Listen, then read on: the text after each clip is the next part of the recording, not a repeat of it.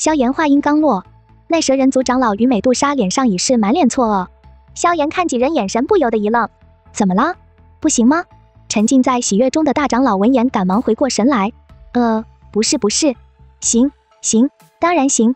而美杜莎眼神中的冰冷也迅速消散，望向萧炎的目光中竟出现了一抹从未有过的温柔。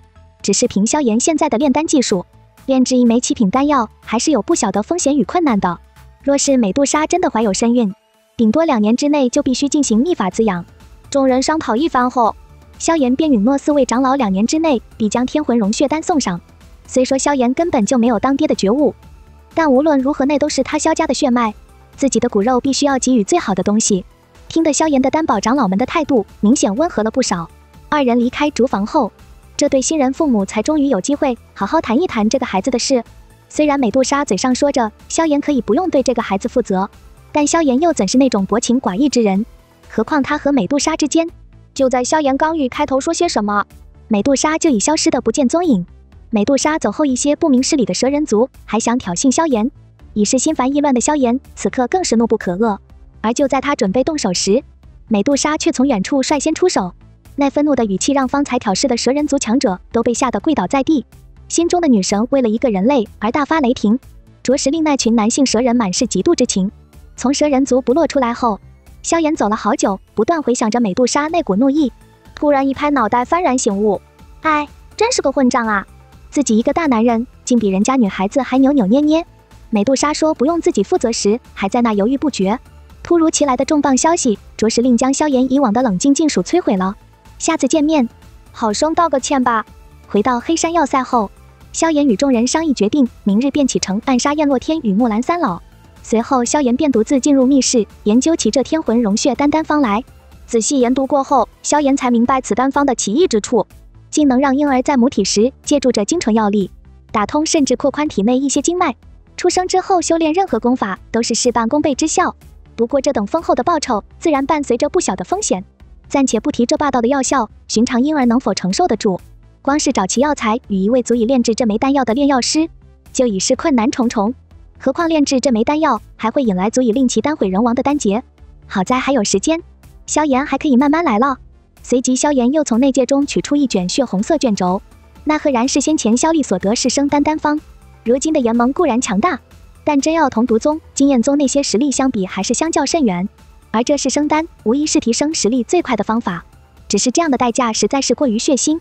想到此处，萧炎也只好日后将此事交由大哥来办，而后便进入了修炼状态。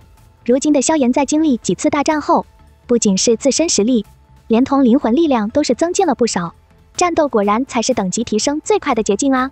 天明之后，萧炎缓缓从密室中走出，手中移动一枚灰色玉片，赫然出现在其手上。黑山要塞外，萧炎等人等了许久后。美杜莎率蛇人族强者也终于赶到，众人在最后确认战策后，便动身前往三国联军所停留的边境城市。当下三军虽在小医仙的命令下暂时撤退，但小医仙也仅有着出云帝国的掌控权。另外两大宗门依旧对加玛帝国蠢蠢欲动。倘若待其援军赶到，再送一些高级丹药过来助燕洛天与木兰三老疗伤，届时又会是一股极强的力量。所以趁其病要其命，是当下最正确的决策。萧炎等人仅飞行一小时左右，便潜入了附近小山坳处。即便小医仙能够撤去毒宗强者，其余两宗的巡逻力度也是十分的森严。如此一来，只能静待天黑了。萧炎在捏碎玉片后，便望着美杜莎那精致的脸颊，略有些迟疑的说道：“那个，昨天的事，对不起了。”显然，萧炎的道歉话语有着不小作用。美杜莎那冰冷的神色一扫而去，转为一种柔和的神情：“你也是会道歉的吗？”而在二人你侬我侬时，小医仙还传信告知二人木兰三老与燕洛天的方位，这无疑对他们的暗杀有着莫大的帮助。看着美杜莎那嫣然一笑，萧炎不由得有些失神。那边静待天黑吧。夜色降临，萧炎向海老交代一番后，便动身与美杜莎借着夜色潜入城中。黑夜之中，两道黑影飞速闪掠，很快便绕过了那一被撤去大半的巡逻守卫。二人最后相互嘱咐几句后，便分散开，向着各自的目标疾驰而去。位于城市中心一处楼顶的小医仙缓缓睁开了双眸，显然他已经感应到了二人的潜入。我所能做的，已经全部做了，能否成功，便看你们自己的了。转眼间，二人皆已悄无声息的来到了目标处——木兰谷营地的中心地带。那木兰三老正凭借三兽蛮荒绝味重伤的虎头人长老疗伤。那虎头人长老伤势虽恢复一些，却依旧需要六品丹药的辅助才能痊愈。就在三人商讨之时，一道尖锐的呜鸣之声在营地中响彻而起。其余二老紧忙将虎头人长老护在身后。就在他们身形刚动的一刹，他们所在的帐篷突然被一道人影所冲破。萧炎，你果然来了！旋即二人联手对那人影猛攻过去。残影。就在二人反应过来时，萧炎已经牢牢抓着那虎头人长老的脖子，站在他们身后。同样的招数下吃亏两次，该说是你们愚蠢，还是我的好运？萧炎，你究竟想要怎样？当下萧炎只要稍一用力，那虎头人长老便会饮恨西北。而其余两位长老明面上尝试与萧炎谈判，背地里却在悄悄结印，欲图动用三手蛮荒诀。但萧炎怎会给他们这种机会？手掌之上一股碧绿火焰直接刺穿虎头人长老喉咙。鲜血四溅在帐篷之内，萧炎杂种，老夫今日定要将你挫骨扬灰！怒吼之下，整个帐篷转瞬便被众多人影所包围。萧炎凭借其强大的灵魂感知力感受到，仅是斗皇级别的就有五人，倘若他们联手，即便是萧炎，也只能暂避锋芒。如今也只能选择硬闯了。旋即，萧炎掰下了虎头人长老的一根手指，将其那戒抢走后便飞速离去。反应过来的木兰二老更是气得直跺脚。只见萧炎一拳打爆一个斗王头颅。又一拳将一名斗皇击飞出去，而后那木兰二老所化的熊头与狮头也冲着萧炎疾驰而来。眼见四面八方的攻势袭来，萧炎紧忙用火环抱将其抵挡。虽然勉强的挡住了攻击，但萧炎也受了不小的损伤。如此一轮轮攻势下来，萧炎早晚会被拖垮。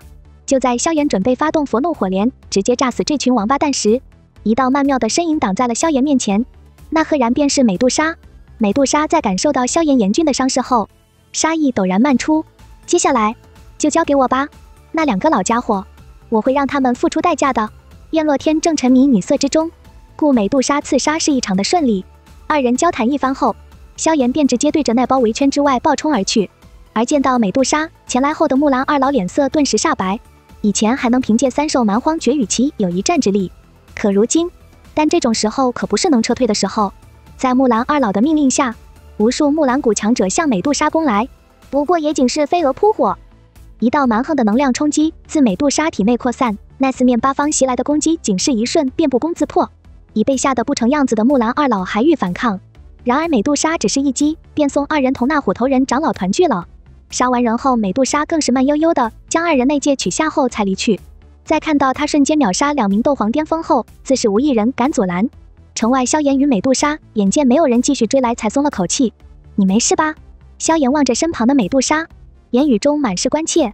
而不知何时，美杜莎那份冰冷也早已烟消云散。就在二人谈笑之时，负责接应的海老等人也出来迎接二人。今日算是大胜而归，众人脸上满是欣喜之色。而萧炎也从怀中取出先前夺得的那枚内戒，搜寻一番，一卷卷轴赫然出现在其手中。三兽蛮荒诀。对于三兽蛮荒诀，萧炎可是垂涎已久。只是虎头人长老手中仅有其中一份。就在萧炎还略感遗憾时，美杜莎将其余两人的内戒也递给了萧炎。你将那两个老家伙也解决了。看着美杜莎那轻描淡写的样子，萧炎不由得苦笑。而在其中果然发现了其余两卷三兽蛮荒诀。看着萧炎脸上的笑容，美杜莎脸颊之上也浮现出了一抹微笑。旋即又取出一卷从燕洛天内夺得的卷轴交于萧炎。天焰九行翼。飞行斗技在斗气大陆上就已是稀有的存在，而这天焰九行翼更是能够制作飞行斗技，其价值定然不会低于三兽蛮荒诀。这东西对你也有不小的效果吧？萧炎望着美杜莎的面庞，突然问道。闻言，美杜莎却是一怔，这天焰九行翼若是使用一些高阶材料制作，那做出来的飞行翼对我的确有着一些好处，但若是寻常材料所致，那么效果不大。萧炎听后也是笑着点了点头。既然如此。那我便先保管这东西，等凑齐了一些材料，便先帮你制作一个对你有用的飞行翼。美杜莎轻笑了笑，此次倒是微微点了点头。而后众人便动身返回了黑山要塞，失去了燕洛天、木兰三老的经验宗与木兰谷，即便欲图报仇也有心无力。而在毒宗宣布退出联盟后，也只能灰溜溜的回到各自帝国。加玛帝国的动乱总算是彻底消散。此战过后，联盟在西北大陆可算是打响了名号。帝国也应允承诺，将靠近魔兽山脉的一片阴凉区域划分给蛇人族。再加上萧炎与美杜莎之间的关系，联盟或许也将是会从中得到难以估量的好处。